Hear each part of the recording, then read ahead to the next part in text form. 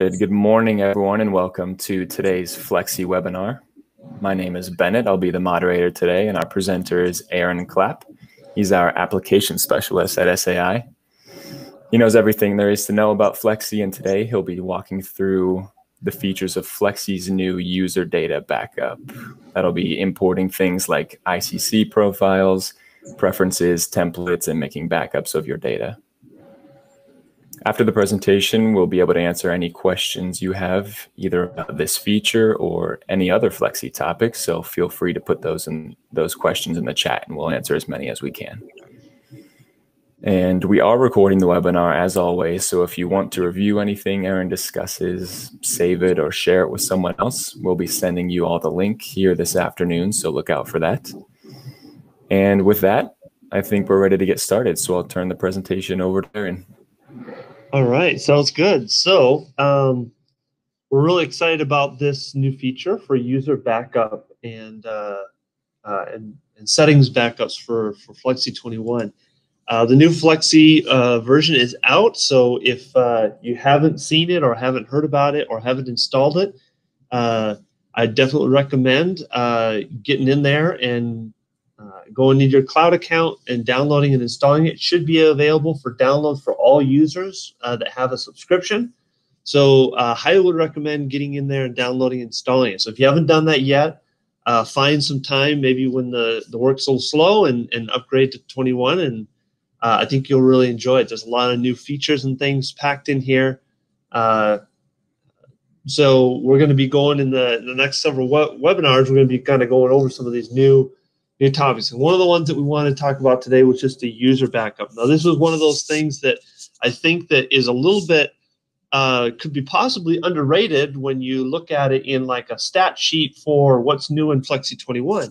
But uh, I really do think that this is going to be a little bit of a game changer in terms of it's going to really help you with your workflow and and when you do update or if you if you have to reinstall or if you get a new PC, anything like that, this can be a, really helpful tool to make the transition in any of those cases uh, smoother and easier. So I know in the past there there have always been times when we try and copy your preferences with a little application called the Preference Manager in in Flexi. Uh, it was a little application that if you go to your start menu, and we'll just pull it up here. Uh, we go to Flexi 19. We'll just go there, for example, and then you see the preference manager. Now that did an okay job of of of backing up preferences, but it was in kind of an inconvenient location. It really wasn't easy to find sometimes, and it wasn't super consistent. And so we tried to figure out okay what's what's the best way that or an easier way that we can allow users to back up their data on a regular basis so that anything does happen even by accident they got their data backed up. That means your profiles and, and all kinds of different things. And we'll look at the list of stuff that you can save here. So the the thing for us was let's let's make this transition process a little bit simpler for our users so that it's not quite as much of a pain to go from one version to another or even to transfer to a brand new PC that you might just have gotten. So let's let's kind of look into what we're doing here. So first of all, let's just uh, go to our edit menu and go to preferences. This is where our backup feature is going to be. So we got two buttons down here under the general tab. You got a backup button and a restore button. So if I click backup, it's going to bring up this little window right here. Now, the nice thing, and we already thought about this ahead of time, is that we decided to store the backups in a separate folder. So it doesn't matter what you do to Flexi. You can uninstall it, delete it. A virus or antivirus program could wipe out the entire folder. It doesn't really matter because we store these in a separate location. So if somebody uninstalls your program accidentally or whatever happens, this is stored in a separate location. So now the good thing is, is this can be uh, stored in a backup program. So if you have some kind of automatic backing up program that backs up Windows for you, this would be included in that, you know, uh, in that program. You can include this folder in there. You can also change the directory. So if you prefer it to go, let's say, into My Documents or something like that, where your backup program frequently backs stuff up, or if you want to put this on a server, that would be fine. So the key is here that is that it's not in the same folder as your install because typically what would happen is if you're using the old preference manager, if you uninstalled the program and then reinstalled, all those preferences were gone uh, unless you had saved them specifically. The nice thing is here is you can do this automatically and set it up, and then it saves in this folder kind of without even you uh, thinking about it. So one of the nice things that we've added is that we've added an automatic backup option. Now you can turn this off if you don't want it on, but uh, you can tell it in days how many days you want it to to back up. So this could be once a week, once every 30 days. You know, this could be every day. Say you want to have this save every day, and that would be perfectly fine. Or you even have the option to click backup now, and it'll instantly back up everything as it is, just as as you see it. And so all of your jobs and stuff like that. So you can just hit that backup button real quick if you feel like, hey, uh, I need to do a reinstall my computer or I'm doing a new upgrade. I'm going to go ahead and back up my settings real quick hit backup, and then you can go to the new computer and then and and then pick up those settings. So this is going to be a real nice thing to have. Setting it on a timer where you don't have to think about it. Flex is just going to automatically back those up for you uh, and save those files so that you can pick them up later. Now, what are the kind of the stuff that that we're that we're saving? Well, the, the nice thing is for Production Manager, anything in the variable dot profiles, your jig layouts, so if you've, this is one of the new tools in Flexi 21, the jig tool.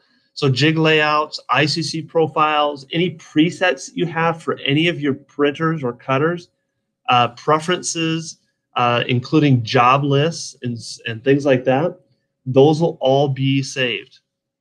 We got all kinds of different things in here as well.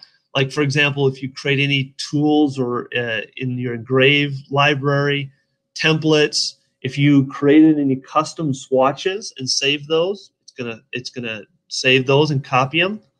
Uh, so if I came down here and edited this swatch and added a bunch of colors to it, it would save those. Uh, templates, uh, things like that, your preferences. Uh, so all the kinds of things that you would want to save and pull over from another version, we've all included that in here. And so that's what's really nice about this setup. So I think this is pretty self-explanatory. Let's go ahead and hit OK. And we're going to just click on this option. So now if you're in the option where you're trying to restore, all you have to do is click Restore. And it'll actually tell you, same screen basically, and it'll actually give you the options as to which options you want to restore and which ones you don't. Um, in this case, I'm going to just have them all selected because why not, right? So I'm going to say click this download list, and you can see here that I've already saved a bunch of these for today. And this is just me testing it out and wanting to make sure that uh, I had a list so you, I, I, could show you.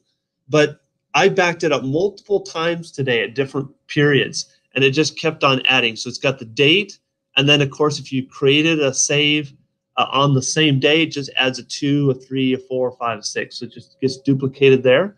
So you can back this up as many times you want, and you can go back to any one of these. And that's the nice thing is it stores these each differently. So whatever the settings were for this one, if they're different from this one and I load these in, it'll do that. So why don't we set up a little bit of a scenario here where we back up some files, uh, and I want to specifically demonstrate that inside of a production manager with your jobs. So let's go ahead and OK. And we're going to pull up production manager here. All right, so I've got a, a, a, printer and a cutter. Why don't I go ahead and add another cutter to my list here, just for fun. And let's just say this one's going to be a Summa.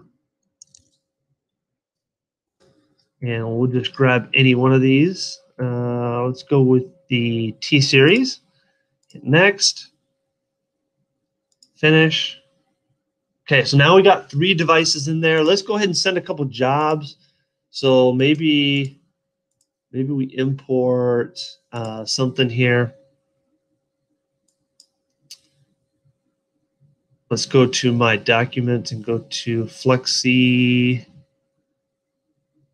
Flexi samples here, and maybe we'll just pull. Uh, let's let's go to vinyl signs. This is better. We go.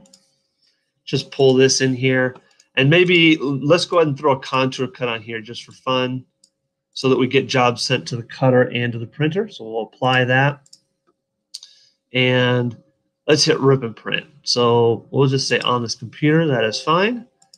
And I'm gonna maybe just, I'm gonna hit hold and list so that it doesn't try to send to a printer that doesn't, it's not actually connected. So I'm gonna say this, I wanna send it as separate jobs. We'll go and hit send. So we have got a job under the Mutoh, and we've also got a job under the Summa.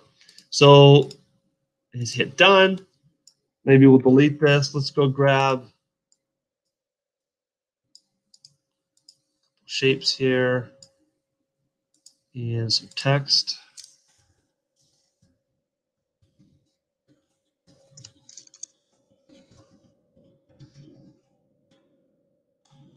A hard time typing. Okay, so then we're just going to do this one. We'll send this one to the Graphtec,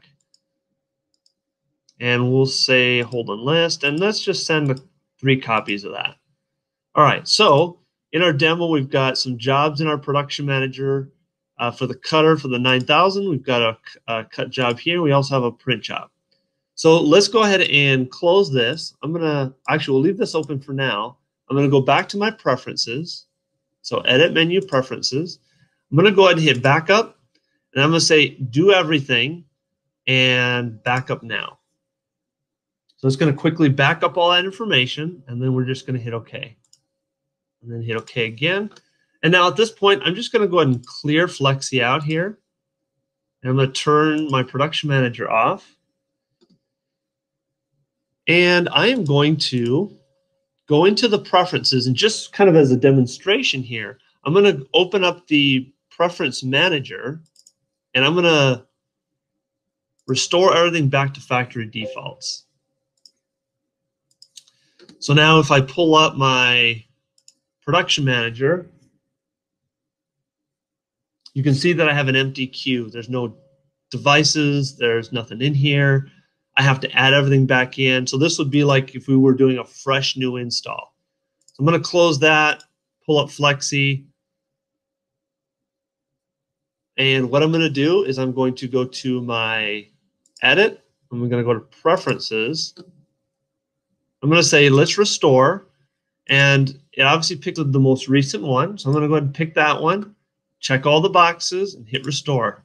And it's going to load in all the files for me. And at this point, I'm kind of ready to go. So I'm going to hit OK. I'm going to close down Flexi just for good measure here. And then I'm going to launch both our programs, Flexi and Production Manager. So just like that, we've got all of our jobs sitting there and our devices all just like they were.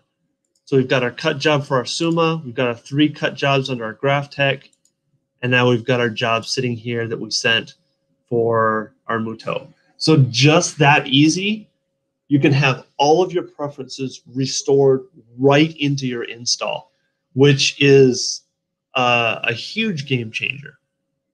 So this is this is going to be really helpful. So now, well, that works great if we're on the same PC and everything like that. What if what if we have a different install? Well, let's close our Flexi down. I actually have a different install. So this is a completely different install from the one that we're using down here below.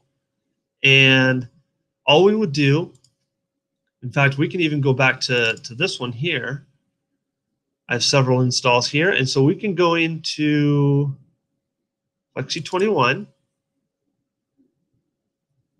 And the great thing is, is that even if, as long as you copy that folder where you're saving your, your preferences to, they'll all show up there. So if I go into preferences, and I go to restore, now this one is storing them in a little bit different folder, so I need to probably see here, browse, can we load in?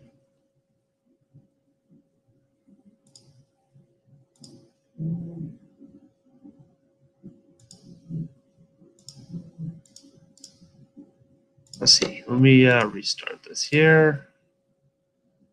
Let's go back to our other one here because I know it was working over here on this one.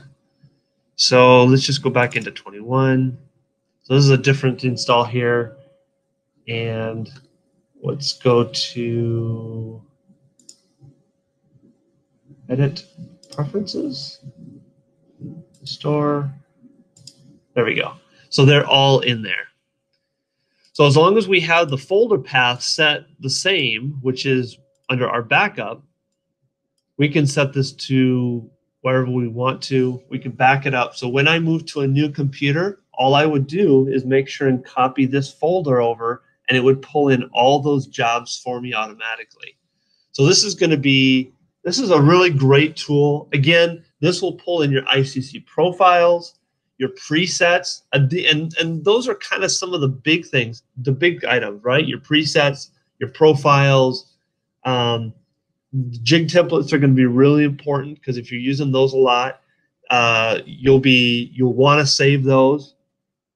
Uh, some of the key ones on the Flexi side is going to be like your color swatches, your templates, uh, any variable data templates that you've created. So variable data is a new feature in Flexi.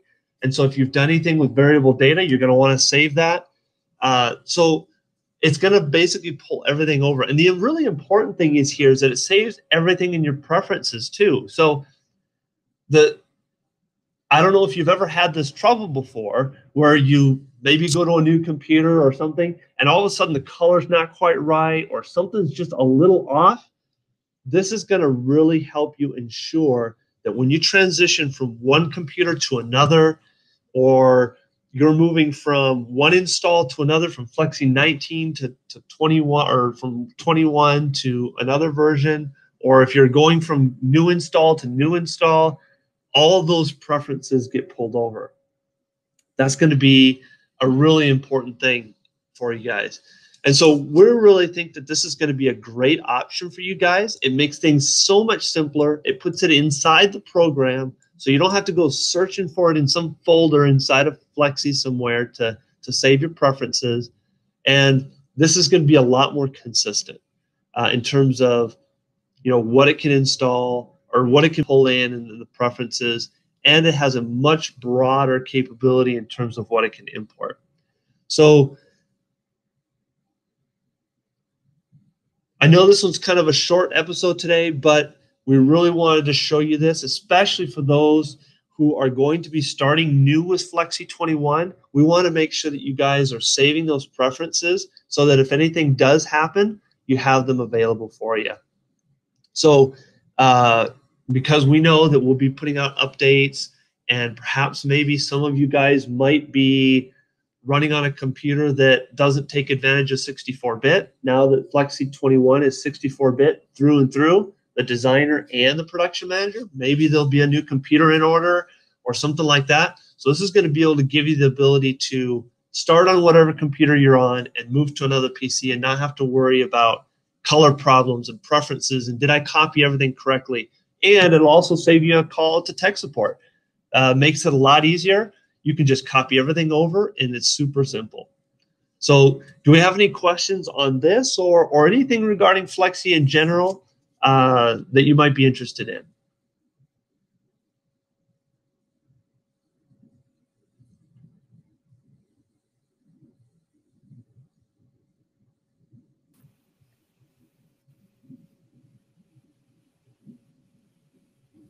Thanks for going that, Aaron.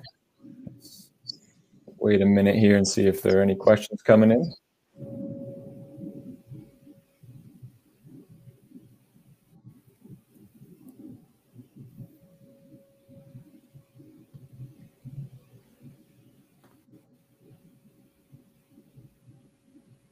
Any questions about user data backup or any other Flexi related questions.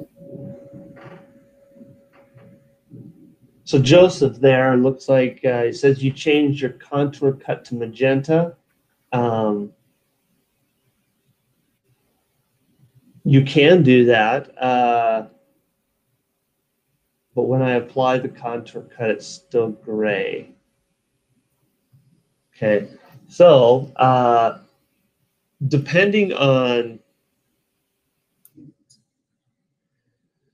so depending on how you do that will depend on on on how that works. So let's just grab an, an item here. So there is a there's two functions, and I'm not I'm I'm wondering if you're using uh, uh, one of these options. So if you go to the option under Arrange, Contour Cut, Make Contour Cut, and click this option, that one is always going to default to the gray color. So if you do it in this one, uh, it'll always be gray. Now, if you do it the other way, let's go back, and you go to contour cut, you're going to want to assign your contour cut color here.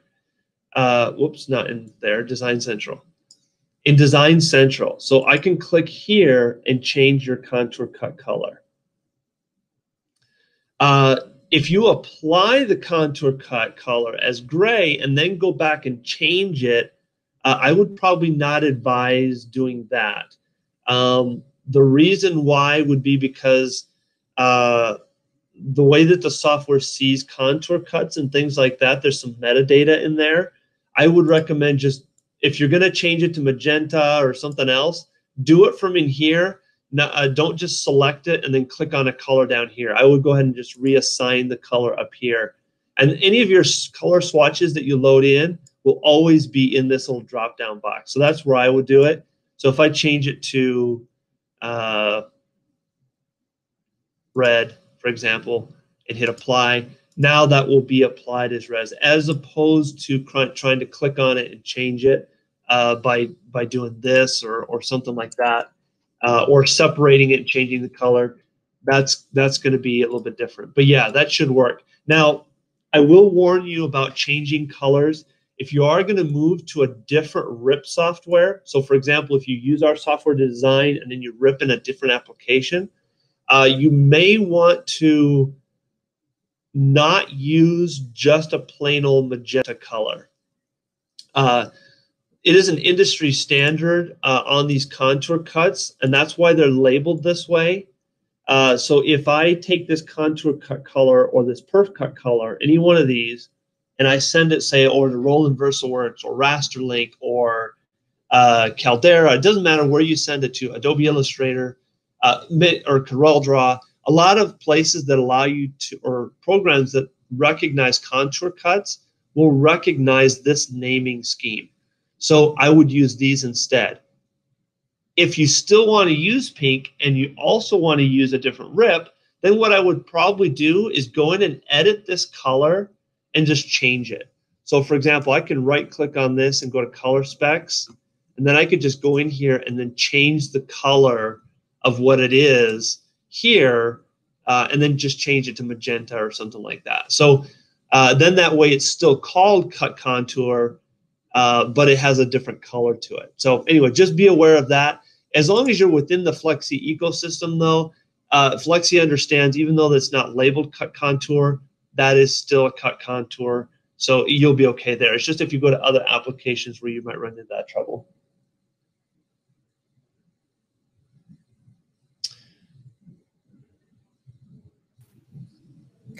Yeah, Aaron, you may have seen Joseph said he did that, but um, it didn't use the color that he chose. So this one, um,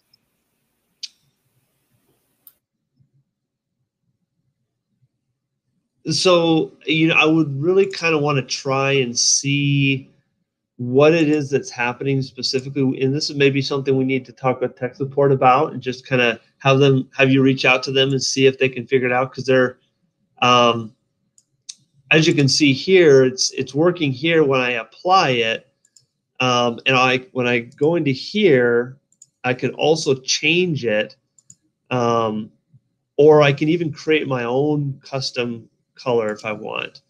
Um, so, in fact, that might actually be a, an, even better option is just create a new custom color. But uh, I would have I would I would take a look at have tech support take a look at it and see if uh, if it's maybe an issue with something that in your install. Uh, but you should be able to change it without any issues.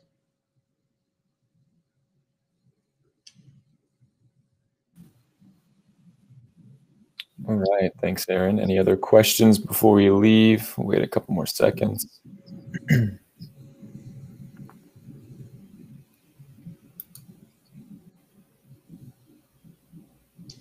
yes, if you're, uh, and just uh, to answer, I think Kelly asked a question.